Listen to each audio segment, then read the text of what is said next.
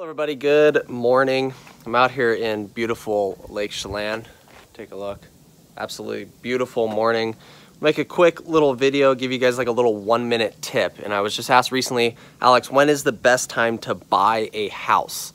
And if you wanna look at the facts, you wanna look at the data, well, it's gonna be in the winter time. And this is because all the sellers that are on during the winter time probably have to relocate because of a job, maybe their finances, maybe they just got a divorce. There's a reason that to why they're selling in the winter, right? And um, normally the second reason is that maybe some of these listings that were on the spring got turned over to the winter. So they have high days on market.